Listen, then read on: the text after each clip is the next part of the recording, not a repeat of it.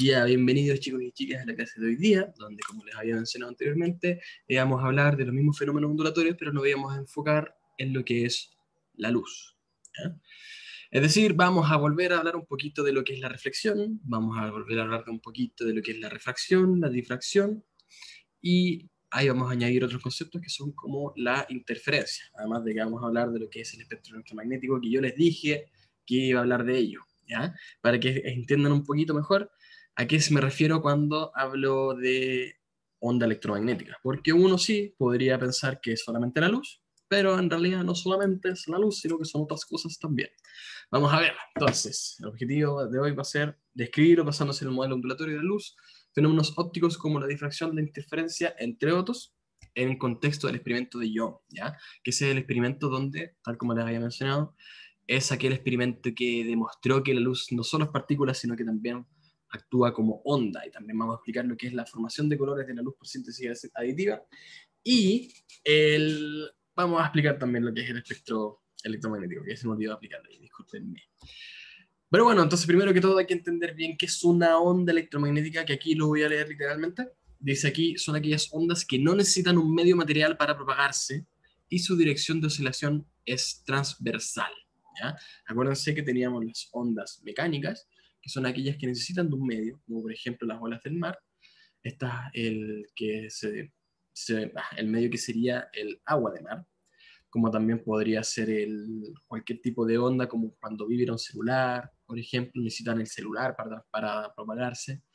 Como también, vamos a ver si es que lo tengo por aquí, aquí tengo una onda en un resorte, se, se dan cuenta aquí, se está ahí trasladando, y ahí el medio sería el resorte. Pero el tema aquí es que las ondas electromagnéticas no necesitan de ese medio, ¿ya? Necesitan, simplemente se pueden transferir en el vacío, ¿ya? Que esas son todas las ondas electromagnéticas que transfiere el Sol, por ejemplo. Que eso puede decirse como la luz que, que emite el Sol, como también el calor que emite esto, como otros rayos también, que eso está relacionado con lo que es el espectro electromagnético. ¿ya? ¿De dónde vienen estas ondas? Tal como dice aquí, estas ondas provienen de la expulsión de energía de los electrones, donde ahí se incluye lo que es la luz visible, las ondas de radio, la televisión, la telefonía, etcétera, etcétera. Ahí les voy a explicar, obviamente no es necesario que lo tengan totalmente claro, pero el tema está que cuando uno tiene un átomo, estas pequeñas pelotitas que componen la materia, está uno de uno de esos, una de esas partículas subatómicas, perdón por el enredo, resulta que siempre va cambiando de nivel. Por ejemplo, aquí tengo mi puño que es el, que es el átomo y alrededor siempre hay un electrón. Esos van cambiando de nivel, es decir, van rodeándolo más alejado del núcleo o más cerca, dependiendo de qué tal, que, dependiendo de su cantidad de energía. El tema es que si está en un nivel alto y baja, es decir, se acerca al núcleo, resulta que libera energía. ¿Y de qué manera la libera? La libera en forma de ondas electromagnéticas, que eso es una que son, tal como dice el nombre, electromagnético, son ondas que se componen de un campo eléctrico y de un campo magnético, más que nada, que eso está relacionado con lo que son las cargas, que son, con lo que son los imanes, por ejemplo, pero en sí son conceptos que no se profundizan en este curso, sino que se profundizan ya cuando, en cursos mayores, pero por ahora solamente hay que indicar que son las ondas electromagnéticas. ¿ya? Ahora, tal como dice aquí, las ondas electromagnéticas tienen distintas clasificaciones y estos dependen de la longitud de onda. Estas clasificaciones se determinan a través del espectro electromagnético que profundizaremos a continuación. Pero primero hay que recordar bien que es una longitud de onda. ¿ya? Para eso usamos lo que es la simulación aquí que resulta que aquí uno simula lo que es una onda en una cuerda, por ejemplo. ¿Ya? Vamos a poner pindón. Y resulta que aquí yo puedo cambiar la frecuencia. ¿Ya? Si lo pongo aquí, pues una frecuencia de 0,25 va lentito, la lentito. A medida que aumenta la frecuencia va a ir oscilando con mayor frecuencia, es decir, va a ir más rápido, por ejemplo. Entonces, a medida que lo vaya aumentando es cada vez más rápido. Pero si se dan cuenta aquí, como que las ondas se van achicando, como que se van acercando entre sí. Eso es lo que es la longitud de onda. Si por ejemplo pongo aquí una regla y lo pongo aquí en slow motion, resulta que la distancia entre el principio y el fin de un ciclo es decir, un monte y un valle, aquí por ejemplo tengo de unos 2 centímetros aproximadamente. Pero si yo voy disminuyendo la frecuencia, resulta que la longitud de onda, ver si es que lo pongo aquí en 1,5 por ejemplo, resulta que la longitud de onda aquí creció. ¿ya? Antes era de 2 centímetros, donde teníamos un monte y un valle, pero ahora solo tenemos un monte que mide 2 centímetros. Y después el valle mide otros 2 centímetros más, que finalmente la longitud de onda sería de 4 centímetros. Eso es lo que es la longitud de onda. ¿Y qué tan largo es el ciclo? ¿Ya? ¿Cuánta es la distancia entre el principio y el fin del ciclo? Y si se dan cuenta, ahí está la relación entre la frecuencia y la longitud de onda. Mientras menor sea su... Voy, dice conexión inestable. Voy a esperar un poquito que salga eso. Mientras mayor sea su frecuencia, mayor sea su frecuencia, resulta que la longitud de onda es más pequeña.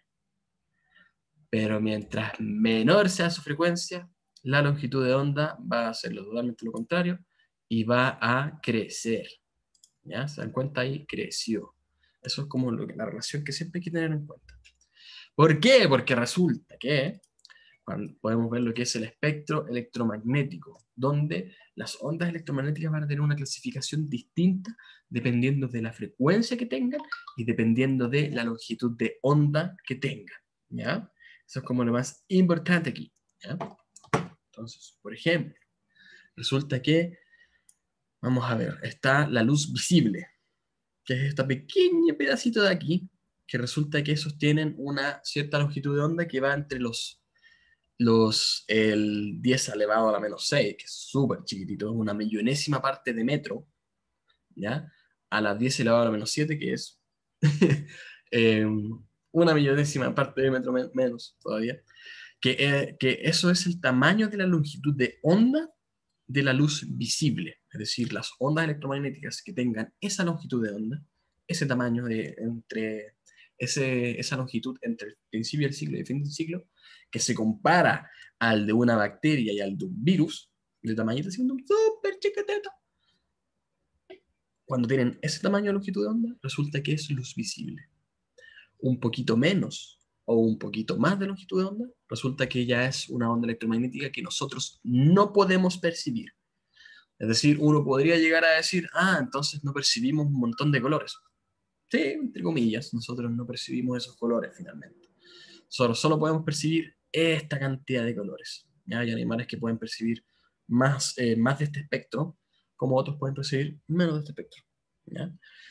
Ahora, ¿qué es lo que hay que considerar acá? Si se dan cuenta, aquí tenemos en este lado que es el izquierdo, son las ondas que tienen una menor frecuencia que es, podría decirse lo que es el infrarrojo, y las ondas de radio. Mientras que en el otro lado son aquellas ondas que tienen una mayor frecuencia. Ahí estamos hablando de los rayos ultravioleta, de los rayos X, y ahora los más dañinos son los rayos gamma. Tienen una frecuencia gigantesca. ¿ya? o sea, una frecuencia así que, acuérdense que frecuencia se refiere cuánto va soleando. Súper, súper, súper rápido. ¿Ya? Mientras que los que tienen menor frecuencia son los que van tranquilitos, ya despacito. Entonces, aquí, por ejemplo, las ondas de radio, que tienen una frecuencia pequeña, significa que van a tener una longitud de onda gigante, ya que se compara al de una cancha de fútbol, que esas son las ondas de radio. Entonces, como tienen, tienen una longitud de onda gigante, estas ondas de radio pueden viajar muy, muy lejos. Ya estamos hablando de hasta en el espacio. Mientras que las que son los rayos gamma, por ejemplo, esto tiene una longitud de onda muy pequeñita que son finalmente los, el, tamaño de un átomo prácticamente. Son una cosa muy, muy diminuta de longitud de onda, pero tienen una frecuencia inmensa. Y eso puede significar ciertas cosas, que es lo que vamos a profundizar acá. Entonces, el, aquí más que nada, lo que muestra esto es cómo, en qué, en qué compara la longitud de onda con algo que podamos, que podamos o que conozcamos cotidianamente como es por ejemplo lo que es la luz visible, el tamaño de la longitud de onda de la luz visible, se compara entre la bacteria y el virus. Cuando estamos hablando de los infrarrojos, ya es algo más grande, que es la célula. Y cuando estamos hablando de las ondas de radio, ya estamos hablando de longitudes de onda que son inmensas al tamaño de una cancha de fútbol. Pero en el caso de los ultravioleta, por ejemplo, ya estamos hablando de cosas más pequeñas, que son como por ejemplo la proteína, la molécula de agua, que es algo que ni siquiera podemos percibir, y el átomo, que es algo totalmente diminuto. Entonces, el, vamos a ir profundizando qué tipo de uso se le puede dar a cada uno y qué beneficios o qué, inclusive qué maleficios podría otorgar. ¿ya? Entonces aquí vamos a hablar de lo que es el espectro electromagnético. Dice, tal como habíamos dicho, los electrones emiten energía en forma de onda electromagnética, tal como los rayos X, los rayos ultravioleta, la luz visible, los rayos infrarrojos, los microondas o las ondas de radio y televisión. Una gran cantidad de, de gamas, o sea, o sea, de, ¿cómo decirlo?, de una gran variedad de rayos en realidad. Todas ellas están clasificadas y ordenadas en forma decreciente según los valores de su frecuencia en el espectro electromagnético. Entonces, por ejemplo, aquí los que son, tienen mayor frecuencia, habíamos dicho que eran los rayos gamma. En tal como dice aquí, en un extremo del espectro están las radiaciones de mayor frecuencia y más energéticas, pero de menor longitud de onda que se describen en la imagen. Las más peligrosas son los rayos X y los rayos gamma, que pueden provocar mutaciones genéticas perjudiciales. Déjenme explicarles ahí en ese sentido.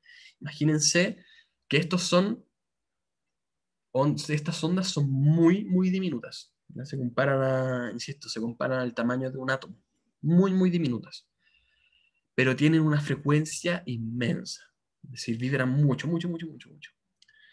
El tema está que como vibran tanto, tienen una gran, una, una gran cantidad de energía imagínenselo como un taladro. Mientras más vibre el taladro, mientras más gire, se podría decir, más perfora. En este caso, por eso los rayos X y los rayos gamma son los más peligrosos, más el rayo gamma que todo. ¿De dónde salen los, los rayos gamma? De todo lo que son los compuestos radioactivos. Si es que han visto Chernobyl de repente, que estamos hablando de que había uranio y, y prácticamente las personas se acercaban un poquito y ya se podían morir de quemados prácticamente, esos son los rayos gamma. Son rayos que tienen una frecuencia tan grande que al contacto con la piel la llega a quemar. Es como si estuviesen vibrando mucho en la piel y resulta que te empieza a quemar.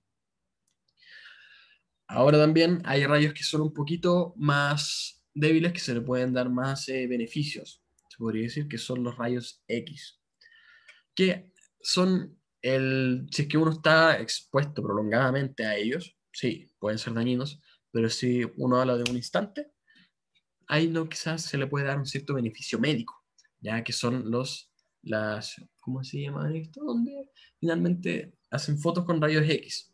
¿Radiografía? Las radiografías, perfecto, ya decir ecografía, pero nada que ver. Muchas gracias. Radiografías, exactamente. Las radiografías que se utilizan rayos X sobre él, que si se dan cuenta, la piel no se ve, pero sí se ven los huesos. ¿Por qué creen que es así? pensando que es una luz. ¿Quién, puede, ¿quién me podría decir por qué, cómo funcionan los rayos X? Tomando conceptos como la reflexión. La reflexión.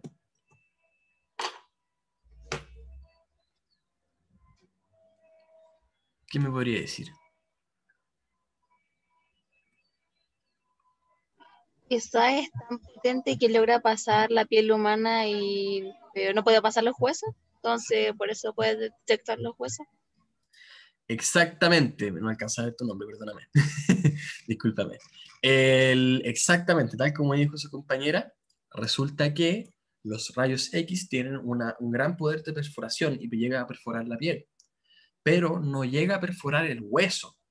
Entonces, cuando impacta con el hueso, este se refleja y ahí lo captan con la cámara, se podría decir, que emite rayos X, captan esos rayos X que se reflejan y ahí generan esa imagen, ¿ya? Donde finalmente la piel no se ve porque los, rayos que, los rayos que pasaron por la piel atravesó la piel, pero no atravesó los huesos. Entonces captamos la, podemos captar lo que es la imagen de los huesos, finalmente. también es por eso que se ve tan raro, porque cambia mucho la dirección y todo, debido a que tiene que pasar de un medio a otro, del aire a la piel y después reflejarse al agua. O sea, perdón, reflejarse en el, en el hueso. Nada que lo dije, en el hueso. Muy bien, súper, súper bien. Esos son lo que son los rayos gamma y los rayos X finalmente. ¿ya? Luego, si es que nos vamos a un rayo, a unos, unas ondas electromagnéticas que tienen menor frecuencia todavía, son los ultravioletas, ¿ya? Que esos, al tener una, una, ¿cómo decirlo? Una cantidad de energía más diminuta porque tiene menor frecuencia, puede llegar a ser hasta saludable para nosotros eh, para poder hacer síntesis de la vitamina D, por ejemplo. Por eso cuando dicen tienes que tomar sol por el tema de la vitamina D, es para que te lleguen todos los rayos ultravioleta y puedas poder sintetizar eh, vitamina D. ¿Por qué específicamente los rayos ultravioleta? No tengo idea, ahí había que preguntarle a algún médico, o quizás a su profesor de biología. Ya, pero yo no tengo idea por lo menos. Dígame, Catalina. Se supone que nosotros recibimos rayos ultravioleta por el sol, ¿verdad? Sí, exactamente. Y entonces, ¿cómo del sol lo pueden pasar a esas máquinas en las que tú te metí y como que está ese rayo ultravioleta? No entendí, ¿qué máquina? Esa máquina, ¿no es de una máquina la que está ahí en la foto? Donde la gente se mete por cierto tiempo. ¿Ya? ¿En los rayos X tú? No, en los rayos ultravioleta. Ah, en estas máquinas para poder eh, tostarse, se podría decir, para poder... Sí, se podría decir así. ¿Cómo, meten ¿Cómo hacen para que haya, eh, haya rayos ultravioleta? Ya, muy buena pregunta. El... Sí, no te preocupes, Carla. Muy buena pregunta. Lo que hacen en esos casos, si no me equivoco, si no me equivoco, es lo siguiente. Tú, ustedes, por ejemplo, se habrán dado cuenta que hay distintos tipos de ampolletas. Están los de neón y están los de tuxteno, que son esos alambritos finalmente que uno los calienta y emite luz. Finalmente, ambos funcionan de la misma manera. Se calienta el tuxteno en el caso de las ampolletas convencionales o se calienta el neón en el caso de aquellas que son de, harto ahorro, por ejemplo. Entonces lo que pasa ahí es que le dan energía a los átomos de neón o de tuxteno para que puedan emitir ondas electromagnéticas en forma de luz. ¿ya?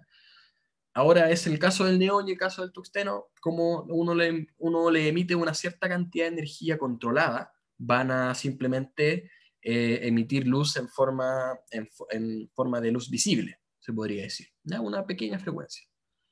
Pero si tú le entregas una gran cantidad de energía a un elemento específico, no, no sé si el neón específicamente, no sé si el tuxteno, sino que aquí en, esto, en estas máquinas debe ser otro elemento. Cuando uno calienta ese elemento, finalmente resulta que empieza a emitir ondas electromagnéticas y tú dependiendo de la cantidad de energía que le vayas entregando, vas a ir, vas a ir eh, emitiendo ondas ultra, o sea, rayos ultravioleta, ¿ya?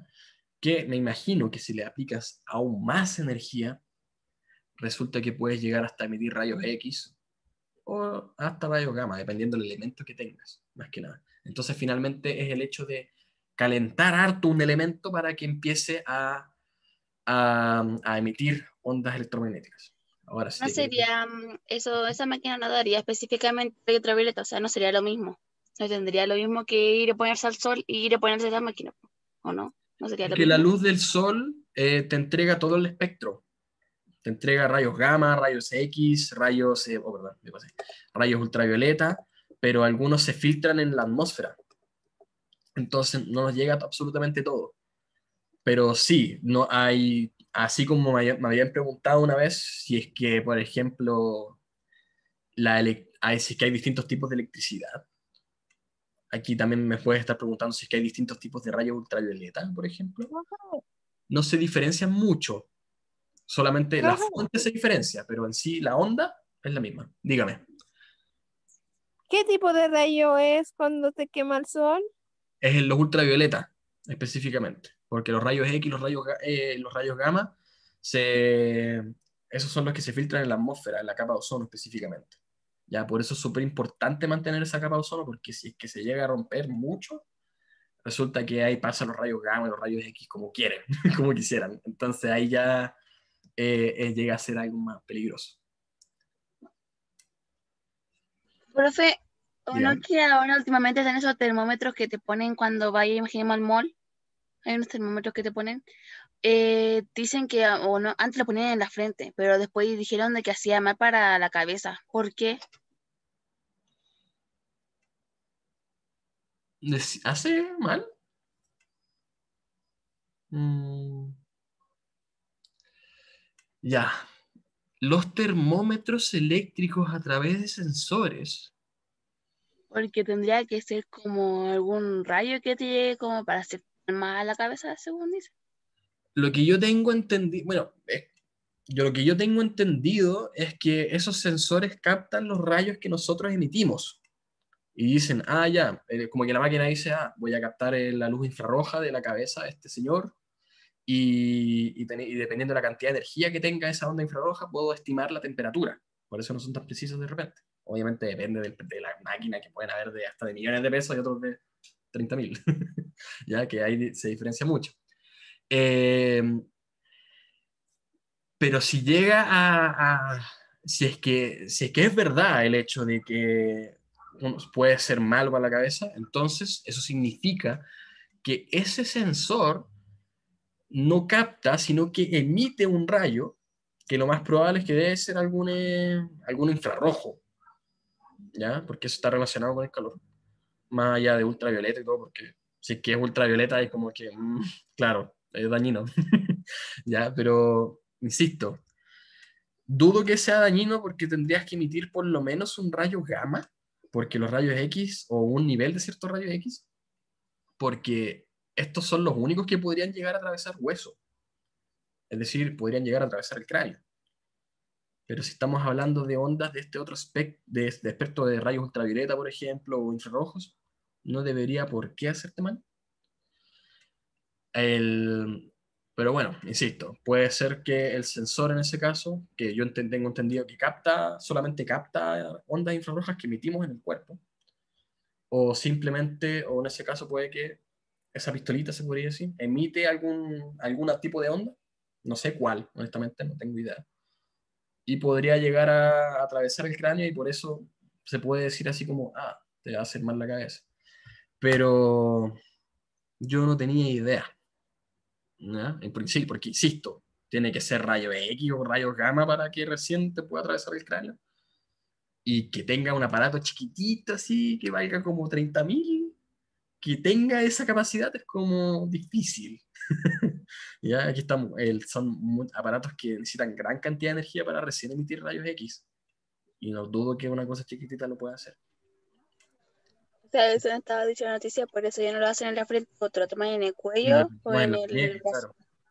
Ya. Mm. Puede ser, es que quizás, quizás, también puede ser el hecho de que la pistolita no, no tenga muy, mucha, ¿cómo decirlo? No regule muy bien la energía, porque te pasas un poquito y ya empiezas a emitir otro tipo de onda. Así que puede ser, pues si salen las noticias, aunque igual no sé, ya no le creo muchas noticias, no Como que, no sé, ahí habría que, tendría que investigar. Ahí voy a... información muy dudosa. Sí, es que el, hasta las noticias últimamente sean, sean como, eh, ¿cómo decirlo? Han emitido noticias sin juicio alguno. Pasa mucho. Ya como el tema de las noticias de de universos paralelos que de repente lo tiraron nomás. Fue como la NASA dijo que era la mínima, chiquitita posibilidad y ellos lo tiraron así como, no, sí, universo paralelo. Pasa mucho, ¿ya? Porque finalmente buscan la reacción de la gente. Pero bueno, continuemos, ¿no? si no, no vamos a alcanzar. ¿ya? Entonces, en el otro extremo, ya porque estábamos hablando de, aquellos, de, aquellos, de aquellas ondas que tenían mayor cantidad de frecuencia, en el otro extremo del espectro electromagnético están las ondas radioeléctricas o radiofrecuencias. Estas, estas tienen frecuencias bajas, ¿ya? es decir, vibran lentito, y son utilizadas por los distintos sistemas de comunicación inalámbrica, ondas de, radio y de microondas, por ejemplo. Ahí, eh, ahí, aquí está, lo, por ejemplo, lo que son los Bluetooth, lo que es el Wi-Fi, ¿ya? que obviamente te dicen aquí como la radio y la tele, y es como ya, pero ¿quién mira tele? ¿Quién, mira, quién escucha radio ahora? Eh, eso está relacionado harto con lo que es Wi-Fi, con lo que es el Bluetooth, insisto, con lo que es las señales telefónicas cuando uno llama de repente. ¿Ya? Esas son las ondas, las radiofrecuencias. Mira, hasta te ponen una, una tele así eh, de la cuerda. Ya, vamos a ver. En este extremo también eh, se ubican los infrarrojos, que son aquellos que percibimos como calor. ¿ya? Entonces, si de repente se han dado cuenta que cuando uno tiene una estufita, donde finalmente lo que hacen es calentar un fierro hasta que se vuelve rojo y emite calor, el, cuando uno percibe el calor son ondas electromagnéticas que llegan a las manos, por ejemplo, y estos tienen la energía de, a través que eh, su energía se manifiesta en forma de calor, ¿ya? Entonces, esos son los infrarrojos. Ya nosotros también, como tenemos temperatura, todo, que tenga, todo lo que tenga temperatura, todo lo que emita calor, ya como por ejemplo el cuerpo humano, o los computadores o los celulares de repente, emiten ese, ese calor en forma de ondas infrarrojas. ¿ya? Eso es lo importante aquí, en realidad. Eh, tal como dice aquí, entre ambos extremos se ubica la luz visible, que es una pequeña parte del espectro electromagnético, ya sea entre los radioeléctricos y los, y los, o sea, entre los infrarrojos, por ejemplo, y los ultravioleta, que son los con mayor frecuencia, y los infrarrojos son los con menor frecuencia, se ubica lo que es la luz visible, tal como habíamos visto aquí. Uno tiene toda esta variedad de ultravioleta y de rayos X y de rayos gamma, toda esta variedad de infrarrojos, de ondas de radio, pero la luz que vemos que podemos percibir a través de nuestros ojos es esta parte que es diminuta, que es nada en comparación. ¿ya? Eso es como lo importante. pero bueno, ahí vamos a ir fundamentando bien. Que aquí resulta que vamos a hablar de lo que es la parte de la luz visible. La luz es una, dígame. Ahí atrás hablaba, ¿no? Que era de los rayos, ¿cuánto dijo? ¿Infrarrojo? Ya, los infrarrojos. Eh, que generan calor porque hablaba de la tele, esa tele y la, ¿Qué tiene que ver con el calor, la tele y la radio? ¿Qué tienen que ver todas estas? Sí, con ya, calor y la radio. O sea, Ya, perfecto. Em, mira, la, la, relación en sí entre todo este espectro, no solamente es que finalmente son la misma onda electromagnética, pero dependiendo de su frecuencia y de su longitud de onda, vas a tener una, un tipo de onda distinto. ¿Ya? Por ejemplo, aquí tengo una frecuencia de, tal como dice aquí, de 10 a la 12 Hz o 10 a la 8, que 10 a la 8 es 10 por 8, 10 con 8 ceros más. Ahí estamos hablando, si son 6 ceros, serían 3 ceros de eh, mil millones de, de hertz, ¿ya? que eh, sigue siendo harto, pero no, no tanto como en comparación a, a lo que es estos que estamos hablando de 10 a la 20 Hz, 10 a la 18, 10 a la 16, 10 a la 15, si te das cuenta, la frecuencia va reduciéndose y a medida que se reduce vas a tener una cierta clasificación de onda. Cuando estamos de entre las 10 a la 12 y las 10 a la 8, ahí tenemos lo que es el infrarrojo. Cuando estamos hablando de 10 a la 8 y las 10, 10 a la 4, tenemos lo que es el microondas, que si te das cuenta, también genera temperatura, pero como tiene una frecuencia menor, esa temperatura se manifiesta de otra manera. Específicamente, aquí, por ejemplo, lo que es el rayo infrarrojo, con esta frecuencia puede calentar cualquier tipo de cuerpo. Cualquier tipo. En el microondas, aquí solamente puede calentar los átomos de agua, por ejemplo. ¿Ya? ¿Por qué? Ahí no sé, ahí le habría que preguntar a, la profesora de química. El, mientras que lo que son más una frecuencia menor todavía, que son frecuencias que no calientan nomás, sino eh, resulta que podemos utilizar señales de radio, señales de tele, señales de Wi-Fi, señales de telefonía, etcétera, señales de Bluetooth, ¿ya? Estos, lo que son esta frecuencia con la tele, por ejemplo, lo utilizamos nosotros a través de nuestros aparatos electrónicos. ¿Por qué específicamente esto? Bueno, una de las razones es porque no, no, no, no queremos que nuestros aparatos se calienten, por ejemplo. ¿ya? Y por eso no utilizamos infrarrojo y microondas, sino que utilizamos ondas de menor frecuencia, que son más fáciles de generar señales con esto, porque tienen menor frecuencia finalmente. Y además, al tener una frecuencia menor, viajan más, pueden viajar mucho más. Por eso de repente lo que es la radio, si es que lo han escuchado radio alguna vez, sale FM y sale AM. El FM, no sé, no sé qué significa la F, ni la A, honestamente pero en el FM estamos hablando de señales de corta distancia, que están prácticamente en una ciudad, simplemente. Pero el AM, ahí se refiere a señales de larga distancia, donde uno puede captar señales de un país a otro. O sea, si queremos escuchar una radio en Argentina, por ejemplo, tenemos que poner el AM. Por si acaso. ¿eh? Existe alguna cosa que evite perderse la corriente? Imaginemos que yo tengo esa tela antigua ¿Ya? Esa ahí más o menos, que pilla mucho la corriente. Tú pasas y te pilla la corriente. Y la otra, como la de ahora, no pillan mucho, o sea, muy pocas veces. Ya, ¿a qué relación hay entre eso? buena pregunta, no lo había pensado. Pero según yo, eh, es que el tema de las, de, de las teles que son más gorditas, resulta que estos funcionan con un elemento específico, no me acuerdo cuál, no sé si aire, pero el tema es que estos colores que forman se generan por, eh, por ir calentando a cierta temperatura un elemento, tal como funciona el tema del neón, debe ser neón, ya, tiene que ser neón, ya, están hechos con un elemento, entonces cuando uno le entrega energía a través de electricidad, resulta que uno puede eh, generar más estática, pero por ejemplo ahora las teles más modernas, que son las LCD, que son las LED, ahí funcionan prácticamente con, eh, me imagino que no dan tanta electricidad porque son más eficientes. ¿ya? Aquí literalmente estamos calentando un elemento para que empiece a emitir luz o, estamos entregando harta electricidad. O igual, pucha, el tema es que no soy experto en eso, puedo deducir cosas y puedo pensar muchas hipótesis, ¿ya? Porque también puede ser el material. Aquí en la tele se utiliza lo que es el vidrio, que es un conductor, más o menos un conductor eléctrico.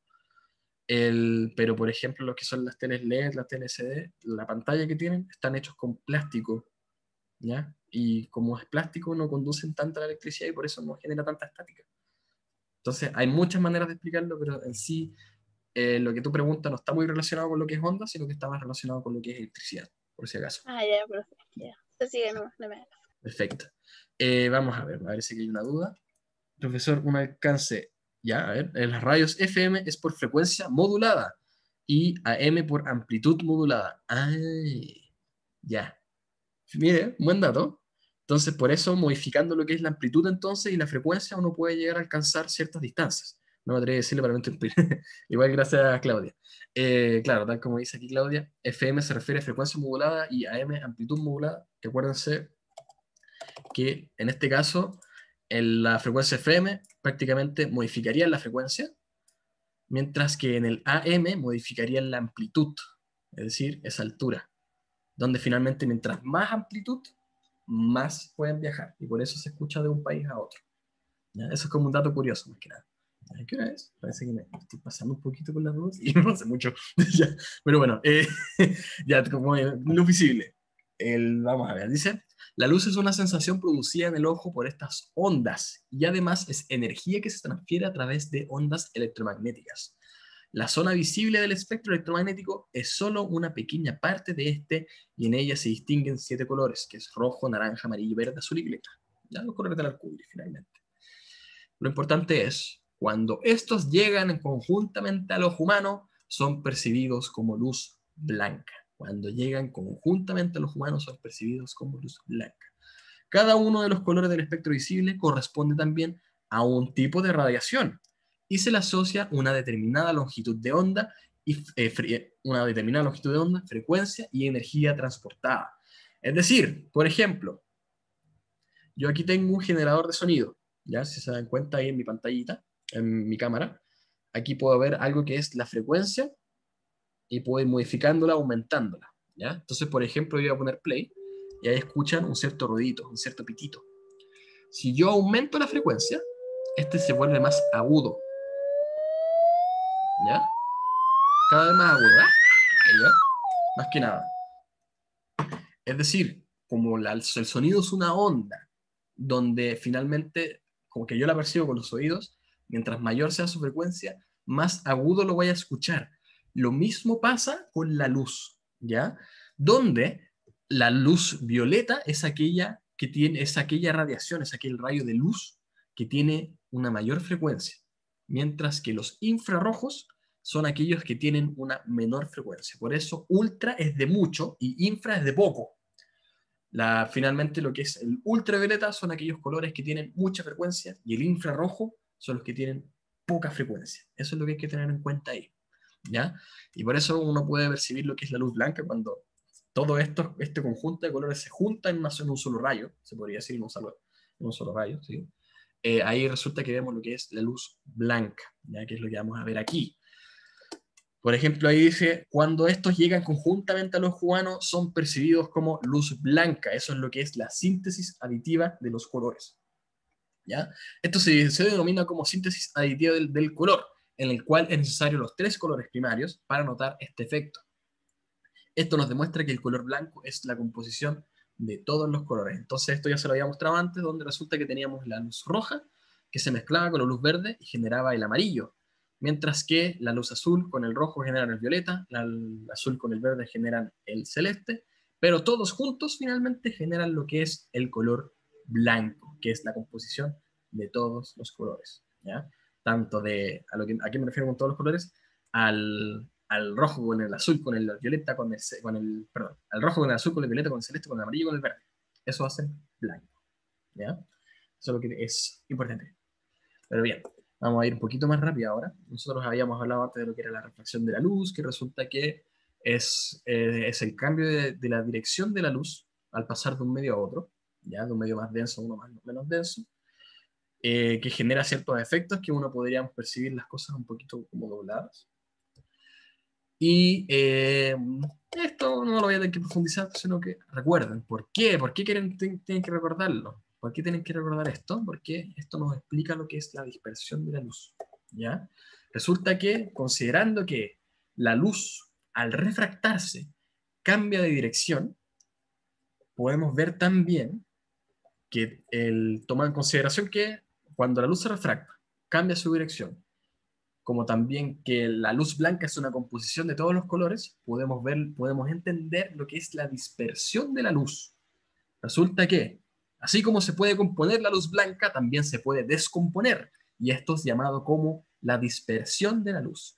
La dispersión de la luz es un fenómeno que se produce cuando un rayo de luz blanca, es decir, un rayo que tiene todos los colores juntos, atraviesa un medio transparente, por ejemplo, el aire, y se refracta mostrando la salida de este, de, o sea, mostrando la salida de los respectivos colores que la constituyen.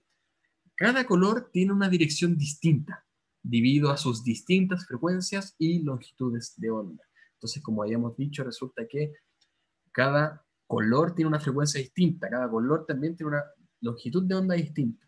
Si se dan cuenta, el rojo queda en la zona superior, no se refracta tanto, mientras que el violeta se refracta más. ¿Por qué? porque resulta que cuando una luz se refracta, se encuentra con los obstáculos que hay en el cristal, en este caso, porque es un prisma de cristal, se refracta en el prisma de cristal y se encuentra con todos los obstáculos. Mientras más obstáculos haya, resulta que más se va a refractar, como habíamos dicho con el tema del, del índice de refracción y la densidad. Como también mientras más frecuencia tenga, resulta que va a ir vibrando con mayor frecuencia y significa que es más probable que choque con ciertos obstáculos y por lo tanto se va a doblar más, o sea, perdón, se va su dirección va a cambiar más. Mientras que el color rojo, que tiene una frecuencia menor, es decir, que es más calmadita al oscilar, resulta que es menos probable que empiece a impactar con ciertos obstáculos, porque no vibra tanto, finalmente, y por eso su dirección no cambia tanto, ¿ya? Entonces, así es como se genera el arco iris, lo que es la luz blanca, la luz del sol, se refracta en las gotas de agua y la luz se descompone en lo que es la luz roja, la naranja, la verde, la amarilla, la violeta, la celeste y, la azul, ¿ya? Donde cada uno tiene un cambio de dirección específico, porque finalmente cada uno tiene una frecuencia distinta, ¿ya? Así es como se genera el arco iris finalmente. Así que eso, bien, ya entendiendo eso, Después quiero hablar de lo que es el fenómeno de la reflexión, acuérdense que es el, fenómeno de cuando una onda impacta con una cierta superficie, esta se refleja teniendo una, una onda incidente, eh, o sea, un ángulo de onda incidente igual al del reflejado, donde también se genera lo que es la imagen especular y la imagen difusa. La especular es donde, como pueden, es la imagen que se ve en el espejo, por ejemplo, y la difusa es aquellas imágenes que son más borrosas, porque finalmente toda luz se refleja, solamente que puede verse el reflejo, ¿ya? Si es que, la, luz, eh, ¿cómo decirlo?, se refleja en el mismo punto y, tiene la misma, y cambia la, dirección de, de, la misma manera. O si es que ya se encuentra una superficie más porosa, resulta que la luz se va a ir a todos lados y no se va a formar una imagen clara, una imagen nítida. ¿Por qué hablo de esto? Bueno, porque aquí vamos a hablar de cómo se diferenciamos los colores de las cosas, ¿ya?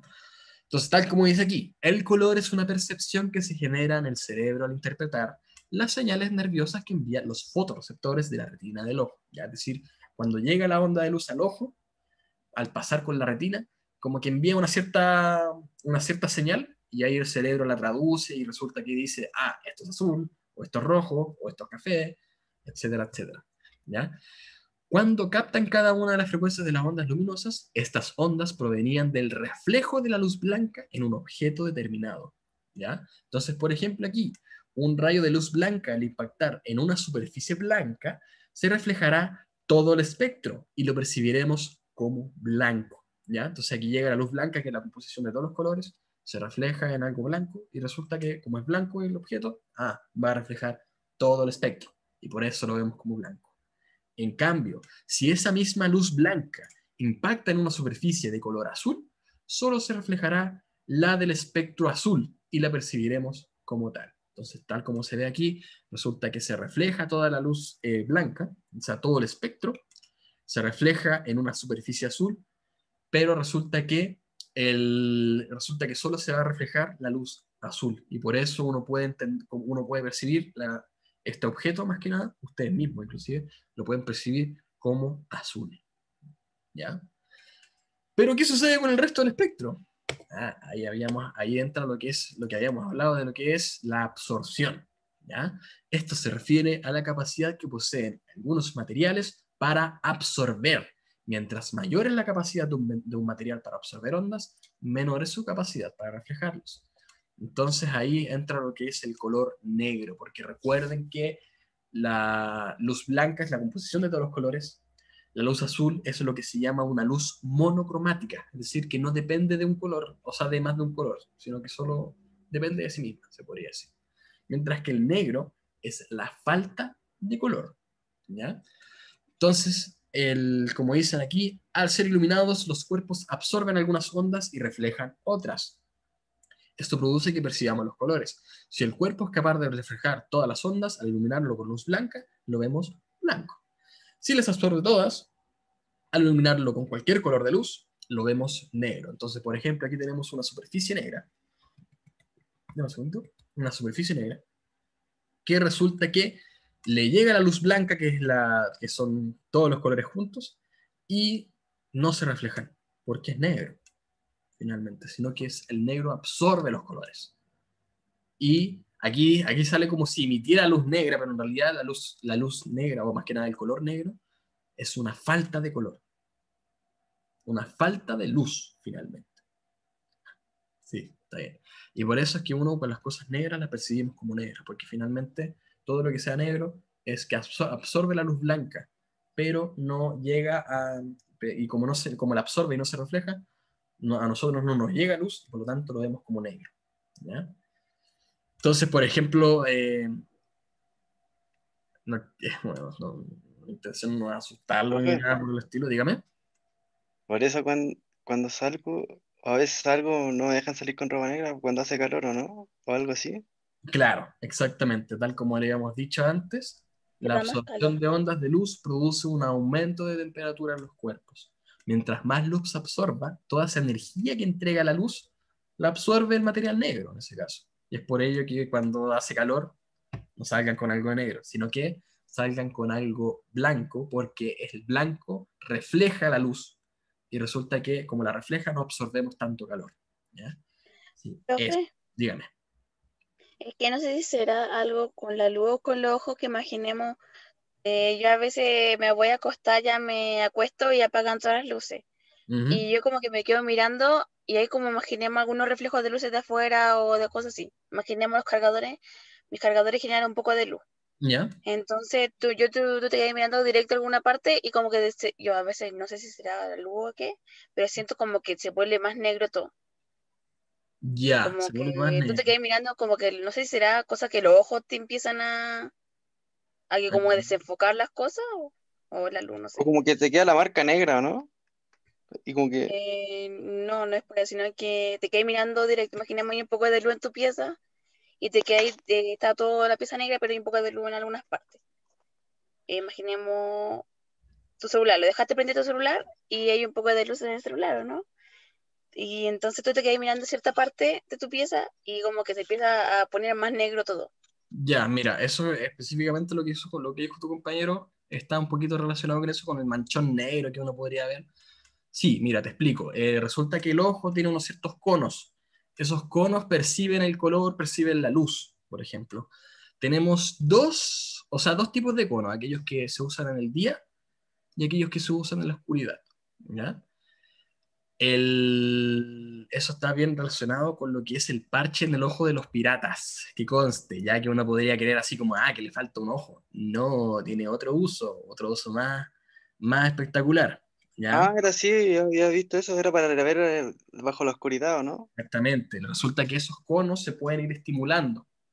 Cuando estamos en la luz, se usan los conos que, con los que se ve el... el ah, un segundo que tengo que toser.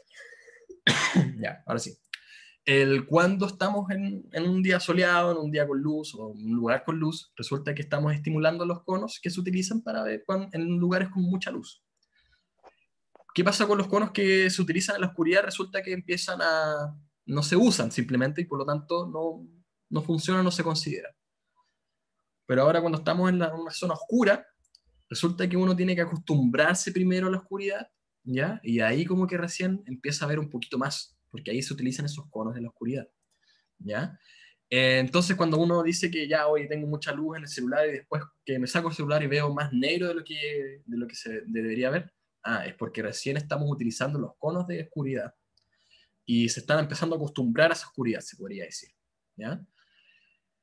Es por eso que está el tema de los parches en los piratas, ya que lo usan no porque, no solo, no porque les falta un ojo, sino que se tapaban un ojo para poder estimular los conos de oscuridad en un ojo.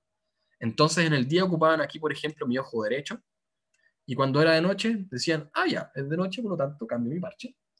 Ahora puedo ver en la oscuridad sin problema. Y porque finalmente estábamos, estaban, en medio del mar, no podían ver nada. ¿ya? Y por eso necesitaban siempre tener estimulados los conos de oscuridad. O sea, finalmente los piratas eran sabios. ¿A quién se le ocurre? Eran súper inteligentes.